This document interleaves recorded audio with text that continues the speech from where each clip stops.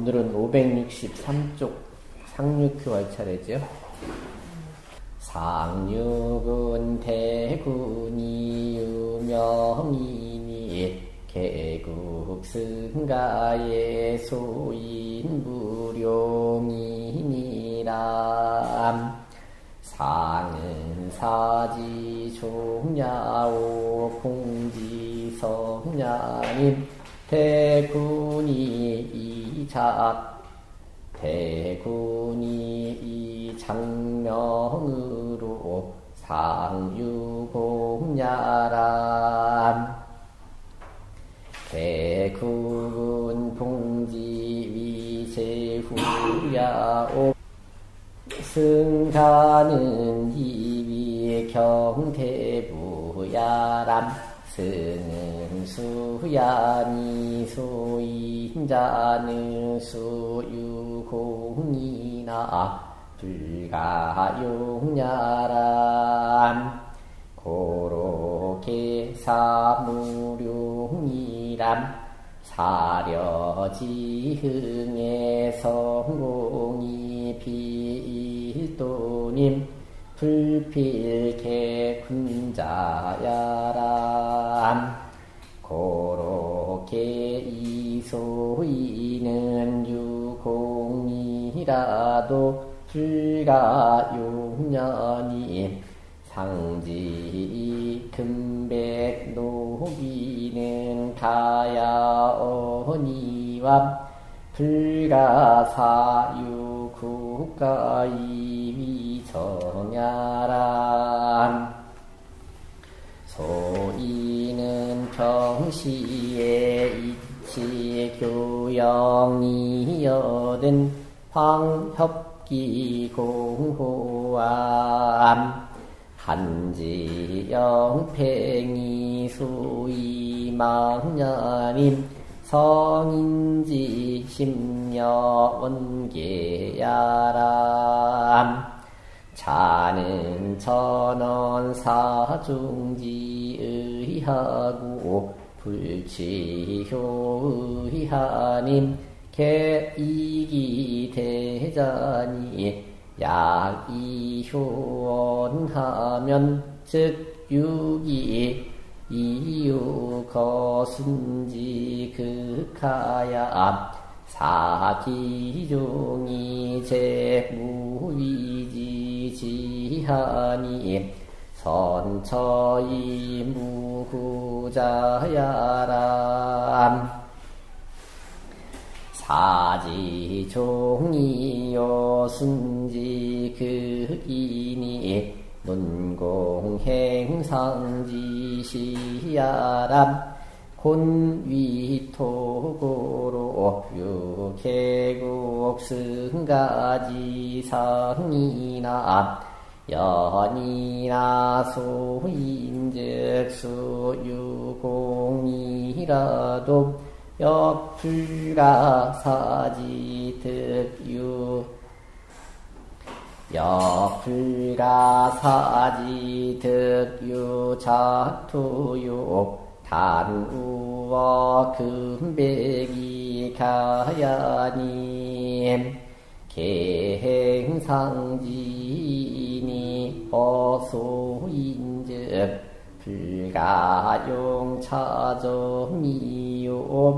이소인 우지에 역부득 용차효야람 상알대군 유명은 이정공야오 소인물용은 필단당열세람 대구는 지은상지 병하야. 이정굴려지 공하님 사지 종야의 수상기공이나 소이는 즉 불가히 유공이 일용지람 용지면 필단방이니 소이니 시궁이 난방젠 혹유지의란 성인지계 심의란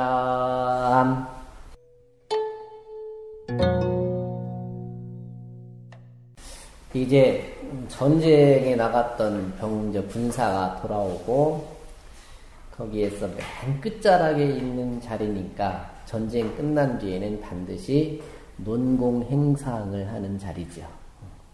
그때 어떻게 하느냐에 대한 얘기가 써 있습니다.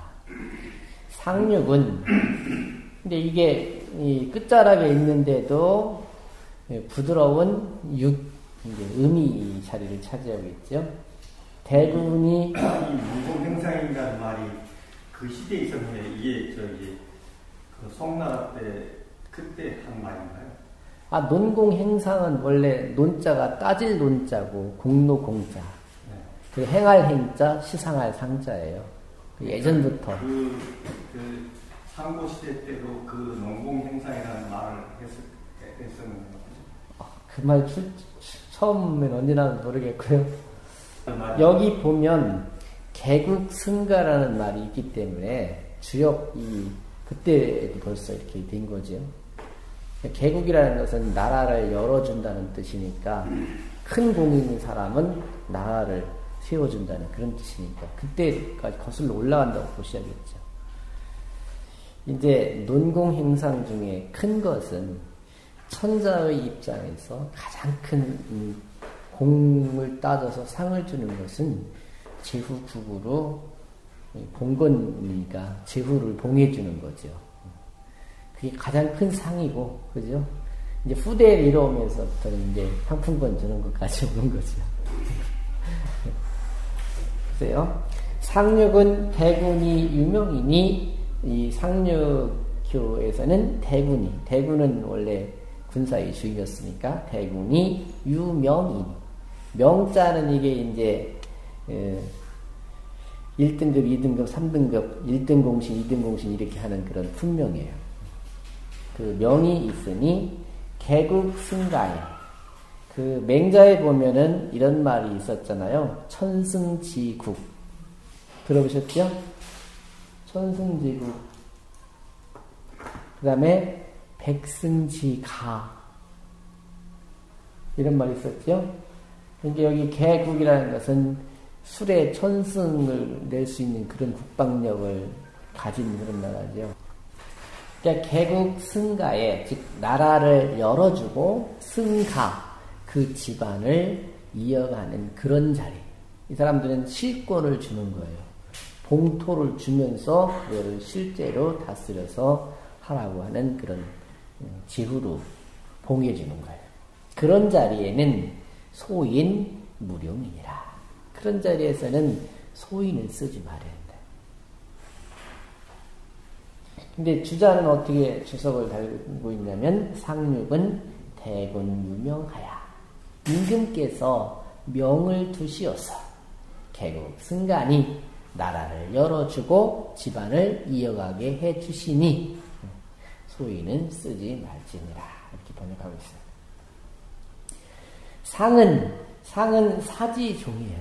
군사의 끝자락이에요. 군사가 실력 행사를 하고 끝나는 자리야. 그러니 사지종이면서 공지성년이 공이 완성된 자리예요. 그러니 대군이 이 장명으로 상유국녀라 대군이 작은 벼슬이고 명은 이제 등급이지요. 음, 벼슬 그 공의 공, 공의 다과에 따라서 높낮이를 조절해서 그것으로 상유공 있는 사람한테 상을 준다. 개국이라는 그 두 글자는 봉지위 제후야. 제후로 봉해주는 거예요. 승가는 이위 경대비하라. 승가는 승가라는 것은 이게 뭐이 가짜는 왜 개순 씨, 숙순 씨 뭐 이런 거뭐 이제 노래에 나오잖아요. 그런 사람들이 중에 여기 가지요. 가. 이위 경대배하라. 경으로도 삼기도 하고 대부로 삼기도 했다. 근데 언젠가 한번 말씀을 드렸지만 춘추라는 책에는 대부 이하는 기록되지 않았어. 그러니까 이때는 개국 공신이 그냥 대대손손 그냥 계속 나중에는 지진화가 나오더라도 그 집안에는 그냥 그냥 승계를 해서 계속 그 가는 가, 가 갔었는가 봐요. 큰 저기가 없는 한 뒤, 뒤, 뒤집히는 구, 구태타 같은 것이 없는 한간 거죠. 그러다가 나중에는 이제 이 어떻게 보면은 왕권 중심에서 이 힘이 잘 미치지 못하게 되면서부터 이제 무너지고 이 지방 지방 있는 그 지구들이 힘을 합해가지고 키워서 나온 게 이제 춘추오패가 되는 거. 그 다음에 열국시대가 벌어지는 거죠. 음, 승자는 여기 승이라는 것은 받을 승자예요. 그러니까 집안의 그러니까 그, 그 집안을 이어가도록 명을 받는 거예요. 소인자는 소인들은 수유공이나 공은 있다 하더라도 불과 용나라. 그 자리에서는 제후로 공해주거나 집안을 이어가게 하는 그런 자리에서는 써서는 안 된다. 왜 그럴까요? 이유는 이제 그 밑에 나와 있어요. 고로 개사 무lum이라. 그렇기 때문에 이 그 임금으로 하여금 그런 사람들은 쓰지 말라고 경계를 하고 있다. 이게 이제 사실은 이제 회사로 말하면 그 공이 있는 사람한테 분점을 내주는 거잖아요. 분점을 내주면 그것도 소위는 쓰지 말라는 거죠. 소위는 차라리 현, 상금으로 주고 이렇게 하는 것이지 분점을 내주서는 안 된다. 그런 얘기를 보실 수 있어요. 어, 사려지흥의 성공이 비일도니 예, 군사들이 일어, 군사가 일어났을 적에 성공하는 것들이 비일도 꼭 한 가지 방법만은 아니에요. 그러니 불필개 군자야라. 그때 이겼다고 해서 공이 있다고 해서 다 훌륭한 사람이 아니더라 이거죠. 남을 속이는데 잘해서 이기는 경우도 있을 거고 그렇죠? 전쟁이라는 게 그러니까. 고로 개이 소위는 유공이라도 불과 6년이. 그래서 소위는 공이 있다 하더라도 써서는 안 된다는 것으로 경계를 하고 있으니 상지의 음, 금백 노비는 가야 어니와. 그 상으로서 돈이라든지 비단이라든지 녹, 녹위라는 것은 이게 이제 그 등급에 따라서 1등급, 2등급, 3등급에 따라서 거기에 해당되는 돈을 주는 게 녹이에요. 녹위로 주는 것은 가하거니와 불가 사유 국가의 위정야라 그 소인배로 하여금 국가를 차지하고서 정치를 하게 해서는 안 된다. 소인은 왜냐하면 소인은 평시에 이치 교영이거든. 평소에도 쉽사리 교만하고 가득 찬채를 하거든. 하물며 협기공화. 그가 전쟁에서 이겼다라는 그 공을 끼고서 있을 때, 그때 거기다가 토지, 이제 토지를 주고 정치를 하게 해주면 또 정말, 어, 어떻겠냐는 거예요. 그 대표적인 예가 한지 영팽이 소위 망냐니.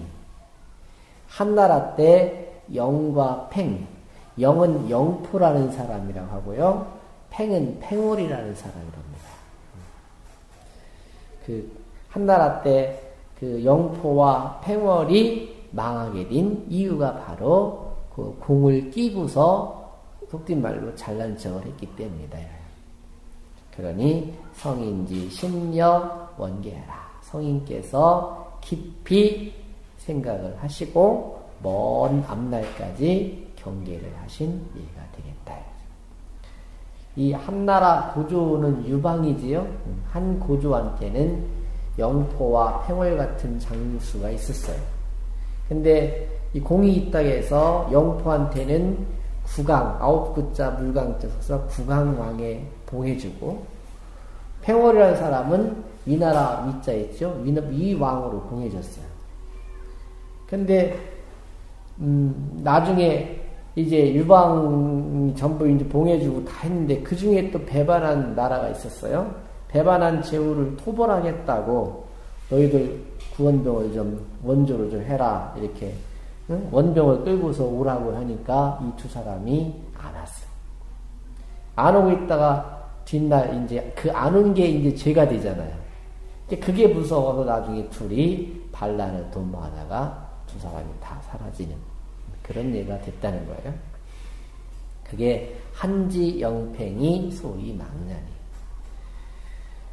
차는 전언 사종지 의하고 정자는 이렇게 풀이한 거지요. 이것은 오로지 사종지의만을 말하고 군사가 마무리되는 군사행동이 끝나는 그런 의리만을 가지고 말했고 불취효의하니 상륙효의 효에 대한 의는 말하지 않고 있어요.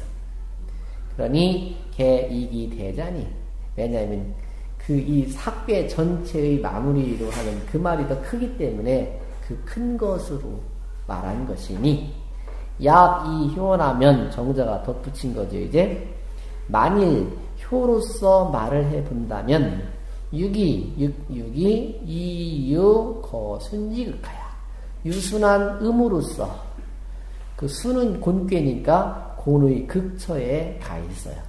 예, 극도로 유순한 자리에 유순한 마음으로 있는 거죠. 그래서 사기종이 군사가 이미 끝나고 제 무위지지. 이제 군사 통수라는 것도 소용없고 이 사람은 제 무위지지예요. 지위가 없는 자리에 있는 것이니 선처의 무자라 처신을 잘해서 허물이 없는 그런 입장이다. 본의도 똑같이 풀고 있죠. 사지 종이요 순지 극이니 군사에 대한 마무리 단계고 순, 순함의 극처에 달한 자리니 논공 행상지 시하라. 이게 바로 공을 따지고 상을 주는 그런 때다. 곤위톡으로 곤이 땅곤자 곤이 토가 되잖아요. 토가 되기 때문에 유개국 승가리상에 거기에 나라를 하사한다. 이 여기 집 가짜도 굉장히 넓은 지역에 토지를 주는 거죠. 거기서 개국 승가의 상이 나온다. 그러나 소인즉 수유공이라도 소인에 있어서는 비록 공이 있다 하더라도 역불과 사지 득유 어, 작토요. 그 소인으로 하여금 어, 작토 그 벼슬로 주는 토지를 영유하게 해서는 안 된다는 거고 단 우이 금백이 가야 돼. 다만 넉넉하게 돈이라든지 상품으로 주는 것이 가니 개 행상지이니 상을 시, 상을 주는 사람이 어 소인즉 불가용 차점유 상을 주는 입장에서도 소인에 있어서는 불가용 차점 이 점을 써서는 안 되고 이제 끝났으니까 상을 줘야 된다는 그런 쪽으로 가서도 안 되고 그 말이에요. 또 소인 우지 우지에 또 그 받는 입장이죠. 소인이 점을 쳐서 이 개를 만났을 때도 여 부득용 차려라. 또한 이 효를 써서는 안 된다. 다시 말하면 이 주역에도 이렇게 나왔는데 왜 나는 이렇게 안 되냐라고 따지면은 곤란하다. 그런 얘기예요. 상활 대군 유명은 이 정국야오 상에 말하기를 대군이 명을 둔다 하는 것은 이 전공, 그 공로를 정, 평정하는 거죠. 평정하는 것이고, 바르게 평가하는 그 평정이에요. 소인불용은 소인을 쓰지 말라라는 말은 필난방얄세라. 훗날 반드시 나라를 어지럽히기 때문이다.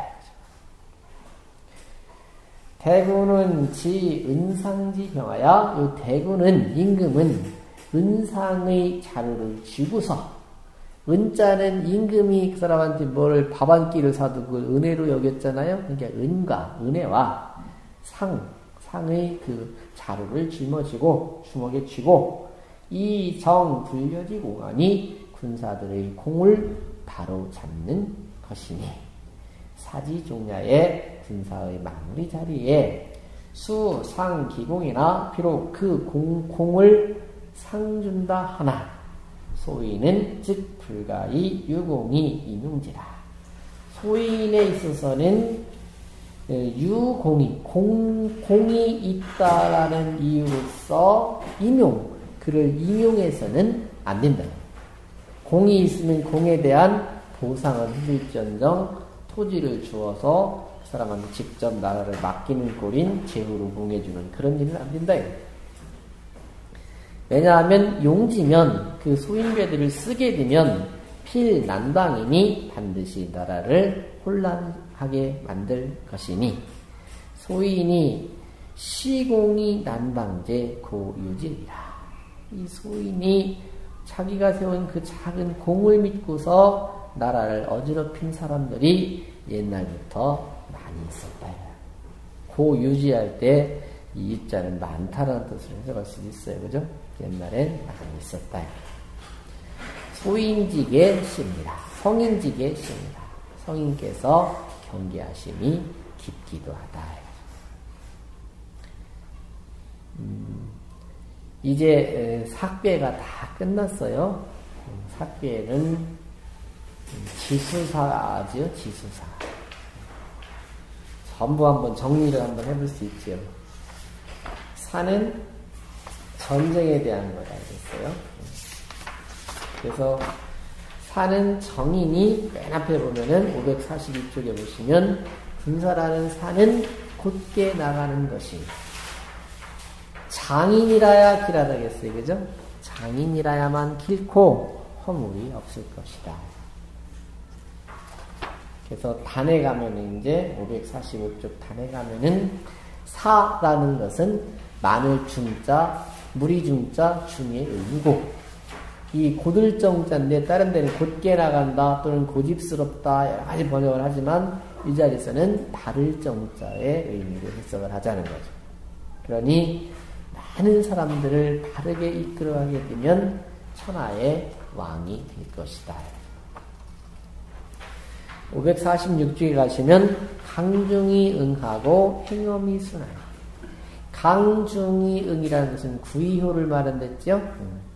강한 재질인 양, 그 다음에 중도를 얻었고 그러면서 저 위에 유순중정한 유고효의 호응을 얻고 행엄이 순하니. 이 밑에 괴가 물이니까 물은 험한 거고요. 험한 데를 가면서도 위에 있는 땅짓자 집기니까 순하게 되니. 이, 이 전쟁이라는 것은 천하에 해독을 끼치는 것이지만 그 해독을 끼친다 해도 백성들이 따라오는 것은 따라오니 아주 길하고 무슨 잘못이 있겠느냐 하는 게 547쪽의 이야기예요. 그래서 이 548쪽에 가시면 상활 지중유수 산이 이, 이 물이 사자, 군사 사자가 되는 이유는 땅 속에 땅 속에 물이 모여드는 거나 마찬가지다 이거죠. 그러니 진자가 이 삭계를 이용할 때는 용민 백성들을 용납하고 어, 축중 축자는 많은, 많은 것을 쌓아나간다는 뜻을 해석되고, 축증은 민심을 살펴서 백성들의 아픈 점을 잘 챙겨준다는 의미도 되고, 그래서 주자는 민심을 잘 살펴서 아픈 데를 챙겨준다는 쪽으로 해서 축으로 읽어야 된다고 했고, 어, 정자는 축중, 백성들, 백성들한테 많은 것들을 쌓아주게 되라, 이렇게, 그렇게 번역을 했어요. 그러면 전쟁의 첫 번째 효인 표육은 출사일. 전쟁터에 나갈 때 제일 중요한 것은 분류를 바로 세우는 거라고 했습니다. 그 다음에 구이효는 이제 군사를 이끌어 나갈 적에 이 사람이 주축이고 장군이고 책임이 있는 사람입니다. 그래서 길하고 또 허물이 없으니 사람한테 임금이 간곡히 명을 내려주고 또 다시 명을 내리고 여러 차례 명을 내려서 챙겨주는 그런 상황인 거죠. 그런가 하면 육삼은 임금한테 신임도 못 받고 또 자기 밑에 있는 사람이 총장군이 되다 보니까 마음은 늘 편치 않을 거고 근데 6-3이니까 재질은 약한데 위치는 또 양의 위치에 있으니까 이게 그냥 딱 다소분이 따라가는 사람도 아니란 말이죠. 그러다 보니까 너도 주장하면 안 돼. 그런 말이지요. 그래서 사호교시는 군사에 있어서 여러 사람들이 주장을 하게 한다면 흉할 것이다. 라고 한 거고요. 이제 557쪽에 가면 육사효가 있는데 육사효는 어, 이거는 이 전쟁터에서 불리하면은 쉬었다가 뒤로 퇴각했다가 하는 그런 논리를 가지고 여기서는 좌차라는 말을 써서 그런 허물이 없다라고 말했어요. 그 다음에 이제 559쪽에 가면 유고효가 있는데 유고효는 전쟁을 왜 해야 되는지 그이 전쟁이 어떤 전쟁인지를 말하고 있죠. 내가 역부로 공격을 하러 가는 게 아니라 우리 집으로 자꾸 쳐들어오고 깝죽대고 그런 사람들을 마치 우리 밭에 날라온 새를 잡듯이 해야 된다는 그런 걸로 말하고 있죠. 그러면서 장자 솔사 확실히 총대를 짊어진 그 장수를 끝까지 믿어줘야 된다는 걸로 경계를 하고 있습니다. 네, 마지막 상륙회에서는 이제 논공행성짜리니까 개국 승가를 할 때는 그 사람 심보가 싫은 사람 안 되는 거지, 그죠? 소인배는 그냥 상품으로 주지 나라를 봉해주거나 큰 집안을 이어가게 해서는 안 된다 나오는 걸로 군산 사구회가 끝난 거예요.